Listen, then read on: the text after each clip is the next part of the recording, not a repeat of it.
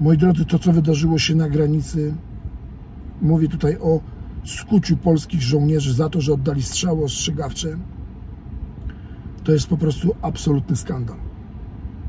Ci żandarmi z żandarmerii wojskowej, którzy zakuli w kajdanki polskich żołnierzy, powinni się wstydzić do końca życia nosić polski mundur.